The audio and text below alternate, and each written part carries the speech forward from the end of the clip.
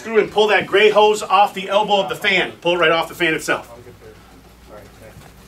And when it looks like a trombone with the two brass nuts, it should be hand tight in these machines. We didn't tighten them up yesterday when we were done. So pull the two brass nuts off and pull that trombone right out of there.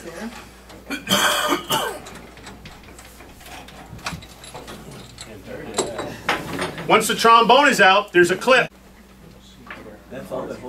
No, two fingers will snap the clip right out of place. Now these clips that come in the machine, they're all the same size. Whether it's for the flow switch, the mixing valve, the gas valve, or the condensate trap, are all the same, so you can't mix them up. When you put these clips back on, you should be able to spin them with your fingers.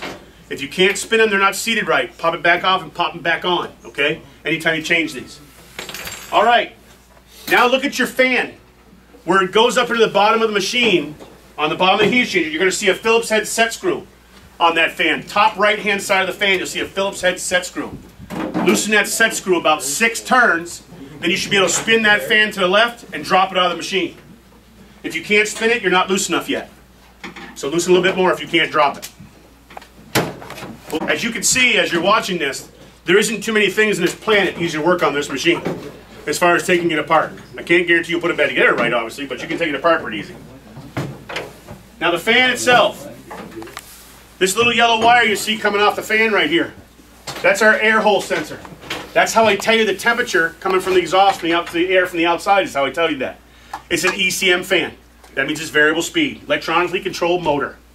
Up inside here, there's a, there's a little impeller inside here with a magnet built into one of the impellers that crosses over the top of a Hall sensor. That's how I know how many RPMs is coming through this machine. Now you're to see they have a three-prong plug and a five-prong plug on this, on this fan. Any ECM fan in anybody's machine does the same exact thing we do. You bring 120 volts to it, then it converts it to DC voltage for your modulation rate. So if you want to know if your fan is good or bad, pop this off first, make sure you have 120 going to it. If you do, plug it back in, then unplug the five prong. The fan should go to full RPMs as soon as you unplug it. If it doesn't, you have a bad fan. And that works for anybody's fan, in anybody's ECM fan. Unplug the five prong, it should go to full RPMs. If it doesn't, replace the fan. I've literally seen four fans actually fail in six years on this machine. It's been one of our more bulletproof products on this on this machine itself, so they've been really, really good. Let's see, get there's two Phillips head screws. Pull the two Phillips. Once the sparker drops, just grab the black wire that comes off there and pull it off the burner. Just go ahead and plug the wires off it. These two, some plug those two off. Perfect. Okay, everybody got that sparker off? Now, just so you know, if you have a machine that you just bought here from Bill or from Chris, okay, and it is giving you EO2 error codes, check for this shroud. We had a thousand machines come through the factory and for some reason the shroud wasn't installed on it. That shroud acts like an insulator. So it takes away stray voltage off the sparker. So on some of them that came through without that, we're getting EO2 error codes. Let us know if that happens to you. We'll send you that. We'll send you a brand new sparker with the with the shroud. We'll take care of it that way. Now, this machine, you should not be able to spin this wire, this rubber wire. If you look at it, you give it a little bit of a spin. Make sure you can't turn it. Any EO2 error code is typically spark related. You can also, with it hooked up inside the machine, you can unplug it, shut off your gas, fire off the machine, take your screwdriver and hold it out like this, and you can actually see the spark come off it. Should you hold on to it? Huh? The screwdriver? Yeah, you can hold a screwdriver. I just do that. It's only 16,000 volts. Be a was. Okay, yeah. It's not going to be the board. It's going to be this little black actuator box. So we can get that sent to you as well. When you when they send you a new one, it comes just like this. The whole shroud and everything is on it when they send you a new one. Okay? So that's what that spark does. 16,000 volt direct spark off that machine itself. You have to take all these parts off. So hold the burner in place. Reach up in there, take the six nuts off, and here's my already. Look at it, there's already six sitting here. I don't know what the hell he did here. Oh, you gotta pull it out. You're good. That was hurting, huh? See, I told you the new burners have a cover that goes over the stainless steel fitting, the stainless steel stuff. Then you have a drain in it that comes down, okay? You can see this one's all broken. So what would happen is, as the condensate runs down the inside, it drips onto here and gets it soaking wet. Once it saturates it and gets the porcelain wet, you lose your ground. You start getting EO2 error codes. If you guys have any in the field that you pull a burner out of it, and it's the old style burner, and this insulation is soaking wet, let's say, and you're getting EO2 error codes, all right, and you don't have a new burner, it's not a problem. Pull out the sparker and the flame rod from the bottom, take a knife and just cut away the wet insulation. Dry off the porcelain, reinstall them, and you'll get them by till you get a new burner, okay? Uh, you'll also be able to tell, because if you have an older machine, if you look at the bottom of the machine on the inside and there's any rust spots in the bottom of the machine, that's a good indication it's been condensing and it's leaking down through the gasket. Don't be alarmed if you pull this out and a, half a cup of water comes out, it doesn't mean you have a leak. It just means the condensate is built up and it had no, no place to go. You never have to adjust the spark gap on these, and these gaps change. I worked with a lot of wall hung boilers when I was still in the trade that to get you to change that gap, check the gap every year because it would change. These have not changed, so don't mess with the spark gap. The flame rod, as far as that, if you pull it out and you want to clean it, dollar bill, paper money. Works the best on any flame rod, leaves no residue, doesn't groove the steel, and it cleans it in good shape. Okay? So if you guys are cleaning it, you're going to use a buck. If Chris is doing it, he'll use a hundred. But that's the way it is. Okay? It. You should never see any rust piece, rust stains on here.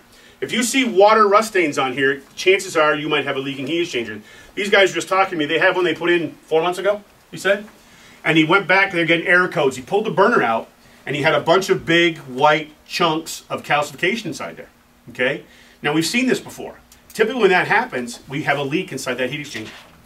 You won't find the leak by doing a leak test because it's a hairline crack in that heat exchanger, so it doesn't leak until it heats, expands on the inside, opens up the crack.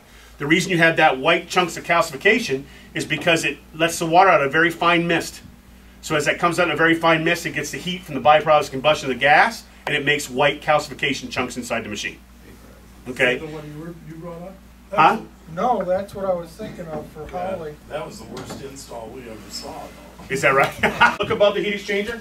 There should be a clip. Yours is missing the clip here. So, um, oh, this is an M. Don't take yours out as an M. Everybody else, so take your clip. Now, little thing about these water valves, they're taking these apart. This is your water pressure switch. You're going to see at the top of that valve. All the new ones you get now are no longer white, they're black. And they have a stainless steel thread instead of a white thread. We made that change because last year we had, out of 13,000 machines, we had 146 failures of that valve right there. What we found out, we couldn't track it serial number wise, it was all no rhyme or reason, but the manufacturer, on some of them, drilled the hole in the inside too big and thinned the sidewalls of the plastic. It gets really hot on top of there, it makes it weak, it fails, it blows pressure, street pressure right inside the whole box. If that happens, we replace the machine. If you guys have any out there in the field that have this pressure switch on it and you want to replace it with a black one, you let me know. I can send a bunch to Bill, and we even have a program for that. If you want to be retro, if you want to be proactive about it, there's a piece of paperwork you fill out. We'll give you the valve. You fill out the paperwork, send it back to us. We'll send you 75 bucks to change that out. Okay? So we have a program for that. Now they don't all fail. They haven't all had problems, but some have. When we found out that was happening, give you an idea the way Eternal works with this kind of stuff. When we found out it was happening last year, they had 6,200 boxes in stock in the in an inventory in Texas. They opened every box. If it had a white pressure switch, you got a black one put on it before it went into inventory to the wholesale houses, just to make sure. Okay? So if you have any problems this coming out, ever exceeds 194 degrees, it trips it and gives you an error code.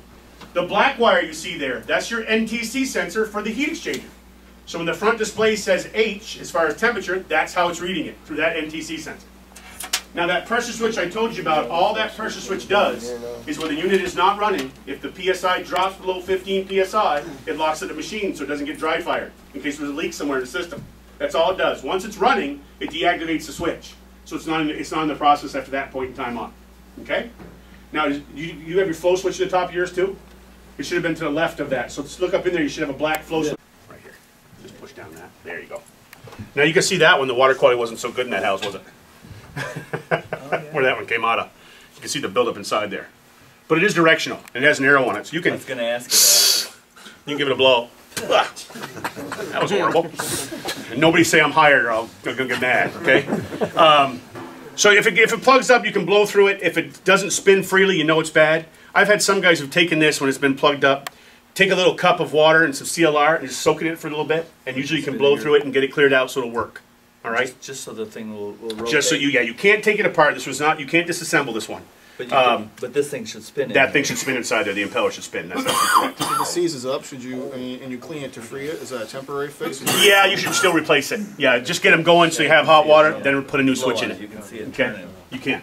By there. To the left-hand side of your machine, you have a mix. Common error codes we see with this machine are EO2, EO3, and E27. Now, this is different from one you hit, this is the shut off because. Yeah, right. No, this is, this is still a mixing valve. It's the same valve, but on this one, it modulates up and down to to control the water temperature. This one it's wired so it just goes to your open and close. That's the only difference. I forgot how to do Now. EO2 we talked about. EO2 means you tried to light five times in a row and failed five times in a row. EO3 means the burner lit and went out 10 times in a row. And E27 is this valve right here. Okay? With no control to the pump. This poor valve can't take it. This valve was made to take 50 degree water into it and make it to 120. It wasn't made to take 120 to it and try to make it 120. So this little actuator head just goes rah, rah, rah, rah, and doesn't stop and finally ru- ruins the valve. Pull the white head off the valve you're holding. Two Phillips head screws, pop that right off. Pop the, pop the white head right off. I'm going to show you a couple things you can do with this machine. Call Bill, get a new mixing valve before you go to the job site. Don't go there before, it, they can reset it. If you let it linger, the E27, you let it, once you get the first one, if you let it go a month, they might get to the point where you can't reset the E27 anymore. That means the valve is seized up completely. You don't want to get to that point. Now, when you pull that head off there, this one's in good shape because if you look at the threads on that cog, there's no black grease there. If you pull yours off there, like that one right there, okay, see the black grease on the head of that one compared to this one, which is all white? That means that valve's been compromised. There's a seal in there with an O-ring that uses the grease. When it when it pops it, the seal breaks and the grease comes out. So eventually it seizes it up. Now let's say you got to a house, it was a Saturday. E27 would not reset. This is what you do. You can get them by for the weekend. Take the head off just like this, okay? When you look at that valve, there's a brass fitting on top. You can spin that valve and see the seat go up and down inside it. Take that valve and close it all the way. So turn the seat so it closes the valve and that brass fitting on top. Okay, you should be able to do it with your fingers. It's usually turnable with your fingers. What is he showing me? I didn't, I didn't pay attention. Yeah. You didn't move, you want to move? Oh, you're turning that. Not. Walk through, and if you called any of our techs in the inside line, they'd walk you through that as well. So it actually gets you by for the weekend until you can get a new valve to put on. Say how to do it again. Take the white head off just like you did. Okay. Take that brass fitting, turn it until the seat is closed completely so no water can go through it. You got it. Okay, then plug all the stuff back in here, but don't reinstall this back on top of that machine. Oh. Put that back in place without this installed on it, turn the number five dip switch on, and they'll have on-demand hot water for the rest of the weekend. They'll have cold water sandwich effect and all that, but it'll take care of the So problem. that, that, that being the mixing valve, by Yes. shutting it off, and you're not, yeah, Yeah, once you go on demand, the temperature coming out is based on modulation. yeah. Now put that together. Please.